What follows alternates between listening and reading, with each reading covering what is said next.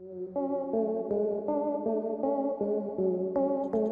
বন্ধুরা, আমরা এর আগের ভিডিওতে দেখিয়েছিলাম প্রাণীদের সব থেকে খারাপ কিছু বাবা মাকে, আর সেই ভিডিওতে আমরা আপনাদের অনেক ভালোবাসা পেয়েছি এবং অনেকেই সেই ভিডিওর দ্বিতীয় পর্ব দেখতে চেয়েছেন। তাই বন্ধুরা, আজকে আবার হাজির হলাম প্রাণীদের সবচেয়ে খারাপ বাবা মায়ের দ্বিতীয় পর্ব নিয়ে। তাহলে চলুন বন্ধুরা, দেখে আসি পৃথিবীর সব থেকে খারাপ কিছু বাবা মাকে, যাদেরকে দেখলে আপনিও বলবেন, এমন বাবা মা যেন কারও ভাগ্যে না জোটে। আর বন্ধুরা, ভিডিওর শেষে এমন একজন মাকে দেখবেন, যার আচরণ দেখলে আপনার চোখে পানি চলে আসবে। কিন্তু ভিডিওটি শুরু করার আগে আপনি যদি আমাদের চ্যানেলে নতুন হয়ে থাকেন এবং এমন নতুন নতুন ভিডিও সব সময় পেতে চান, তাহলে এখনই আমাদের চ্যানেলটি সাবস্ক্রাইব করুন এবং পাশে থাকা বেল আইকনটিতে ক্লিক করুন।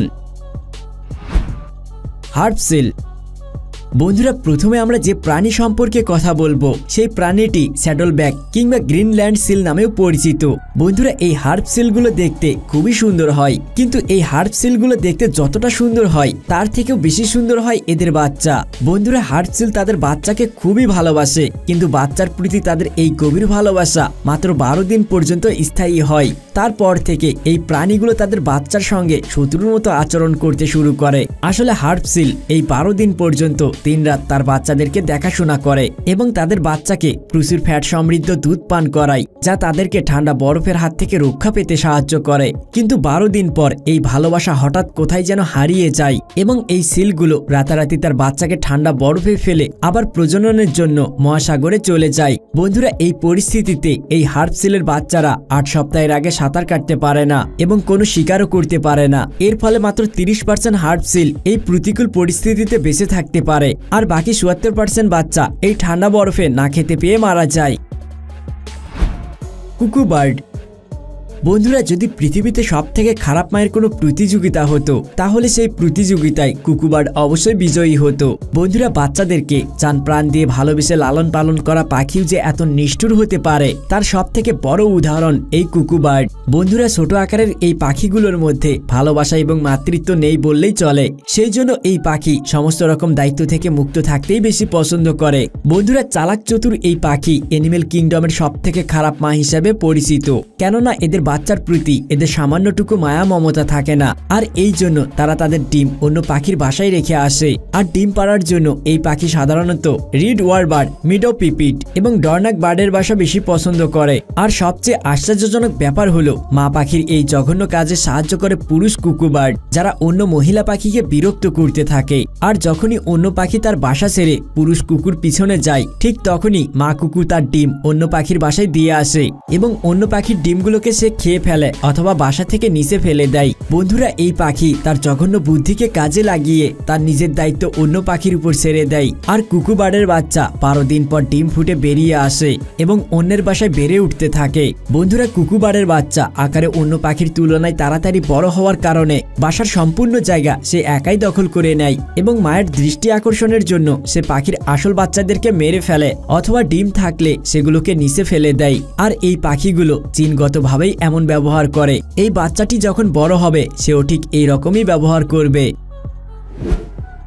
হাউস স্প্যারো বন্ধুরা যে কোনো সম্পর্কে প্রতারণার শিকার হওয়া খুবই দুঃখজনক। আর এইটা মানুষের সাথেই হোক কিংবা অন্য কোনো পশুর সাথে। বন্ধুরা, ধোকা খাওয়ার পর রাগ হওয়াটাই স্বাভাবিক। কিন্তু রাগের জন্য সবকিছু শেষ করে দেওয়ার সাহস কেবলমাত্র স্প্যারো পাখির মধ্যেই রয়েছে। বন্ধুরা ভোলা ভালা দেখতে এই ছোট্ট স্প্যারো পাখি এমনিতেই পৃথিবীর সব থেকে ভালো মা। কিন্তু প্রতারিত হলে এরা সব থেকে ভয়ঙ্কর মায়ের রূপ ধারণ করতে বেশি সময় নেয় না। আসলে এই প্রজাতির পাখিগুলো তাদের সঙ্গীকে খুবই সন্দেহ করে। পুরুষ স্প্যারো পাখি অন্য কোনো মহিলা স্প্যারো পাখির সঙ্গে সম্পর্কে যুক্ত হলে এই পাখি শান্ত থাকে না। পুরুষ স্প্যারো পাখির সঙ্গে সম্পর্কে যুক্ত হওয়া সমস্ত মহিলা স্প্যারো পাখিকে এই পাখিরা খুঁজে বের করে এবং তাদের বাসা এবং ডিম সহ সবকিছুকেই নষ্ট করে দেয়। মহিলা স্প্যারো পাখি এমন আচরণ সে তার বাচ্চাদেরকে পিতার ভালোবাসা পাওয়ানোর জন্যই করে। বন্ধুরা, আপনারা জানলে অবাক হবেন যে এরা তাদের পুরুষ সঙ্গীকে ফিরিয়ে আনার জন্য সব রকম কৌশলের অবলম্বন করে।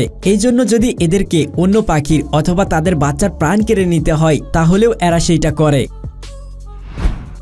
ড্রাকুলা অ্যান্ড বন্ধুরা, যে পিঁপড়ের নাম এতটা ভয়ানক, সেই পিঁপড়ের ব্যবহার তার বাচ্চার প্রতি কতটা ভয়ানক হবে? বন্ধুরা, পৃথিবীর সব থেকে দ্রুত প্রাণী ডার্কুলা অ্যান্ট। সে তার নিজের বাচ্চাদেরকে মেরে শান্তিতে থাকতে চায়। পিঁপড়ের এইরূপ আচরণের উপর বিশ্বাস করাটা কিছুটা মুশকিল। বন্ধুরা, এই প্রাণী এনিমেল কিংডমের সব থেকে পরিশ্রমী প্রজাতির মধ্যে একটি। বন্ধুরা, সৃষ্টিকর্তা এই প্রাণীকে পৃথিবীর সব থেকে দ্রুত ক্ষমতার চোয়াল দিয়েছে। এরা তাদের চোয়াল দুইশো বত্রিশ কিলোমিটার প্রতি ঘণ্টার গতিবেগে খুলতে এবং বন্ধ করতে পারে। আর এই প্রাণীর এই মুভমেন্ট চিতার মতো প্রাণীকেও হার মানাতে সক্ষম। তাছাড়াও বিজ্ঞানীদের মতে, টার্কুলা অ্যান্ড মানুষের চোখের পলকের সময়ের চেয়ে পাঁচ হাজার গুণ বেশি দ্রুত গতিতে আঘাত করতে পারে। বন্ধুরা, আপনারা জানলে অবাক হবেন যে, এত বড় ক্ষমতা থাকা সত্ত্বেও এই পিঁপড়ে শক্ত খাবার চিবিয়ে খেতে পারে না।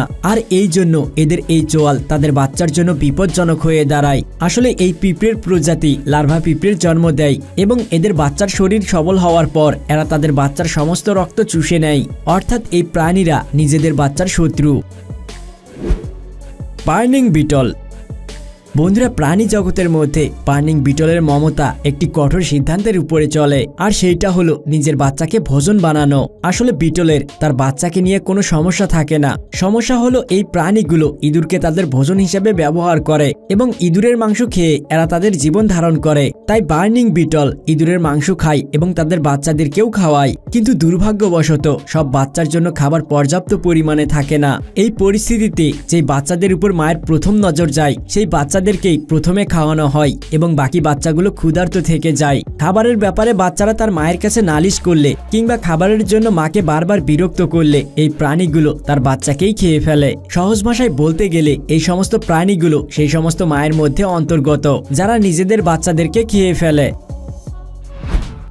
স্কিঙ্ক বন্ধুরা, আমরা জানি যে একজন মা তার বাচ্চাকে বাঁচানোর জন্য সবকিছুই করতে পারে, কিন্তু এই প্রাণীর ক্ষেত্রে এই কথাটি সম্পূর্ণ বিপরীত। কেননা এই প্রাণীগুলো তার বাচ্চাদেরকে সমস্ত রকম শিকারীর হাত থেকে বাঁচানোর পরিবর্তে নিজেই নিজের বাচ্চাকে শিকার করে ফেলে। আসলে ডিম দেওয়ার পর এই প্রাণীগুলো নিঃস্বার্থভাবে তাদের ডিমকে পাহারা দেয়, কিন্তু যখন অন্য প্রাণী এই ডিমে আক্রমণ করে, তখন এই প্রাণীগুলো নিজেই নিজের ডিমকে খেয়ে ফেলে, যাতে অন্য কোনো প্রাণী তার ডিমকে না খেতে পারে। তাসমানিয়া ডেভিল বন্ধুরা মার্সোপিয়াল প্রজাতির অন্তর্ভুক্ত, এই প্রাণী দেখতে কিছুটা ইঁদুরের মতো হলেও এদের ধারালো দাঁতের জন্য এদেরকে দেখতে আরও বেশি ভয়ঙ্কর মনে হয়। বন্ধুরা, অস্ট্রেলিয়াতে দেখতে পাওয়া এই প্রাণীগুলো এমনিতে খুবই ডেঞ্জারাস হয়, কিন্তু বাচ্চার প্রতি এদের কোনো ভালোবাসাই থাকে না। বন্ধুরা, আপনারা জানলে অবাক হবেন যে তাসমানিয়ান ডেভিল একবারে প্রায় পঞ্চাশটি বাচ্চার জন্ম দেয়, কিন্তু লালন পালন করার জন্য এরা মাত্র চারটি বাচ্চাকে বেছে নেয়, আর বাকি বাচ্চাগুলোকে মরার জন্য ফেলে দেয়। কারণ এদের কাছে মাত্র চারটি স্থন থাকে যার কারণে এরা শুধুমাত্র চারটি বাচ্চাকেই দুধ পান করাতে পারে। যে বাচ্চাগুলো সব থেকে সুস্থ এবং বড় থাকে, তাদেরকেই এরা বেছে নেয়। আর এই বাচ্চাগুলো নয় মাস পর্যন্ত মায়ের সঙ্গেই থাকে এবং নয় মাস পর এই বাচ্চাগুলো নিজেরাই চলাফেরা করতে পারে।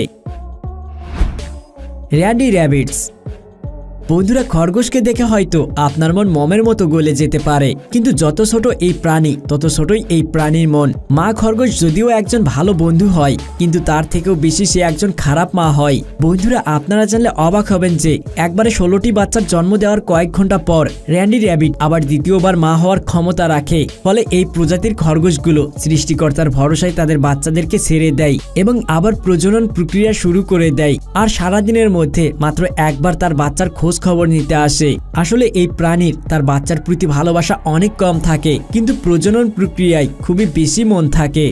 বন্ধুরা, এই ভিডিওতে প্রাণীদের কোন মাটিকে সব থেকে বেশি খারাপ মনে হয়েছে এবং এই ভিডিওটি কেমন লেগেছে সেটা অবশ্যই কমেন্টে জানাবেন।